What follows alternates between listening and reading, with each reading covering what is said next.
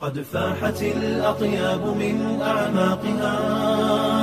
وازدان عزا بالشموخ ونورا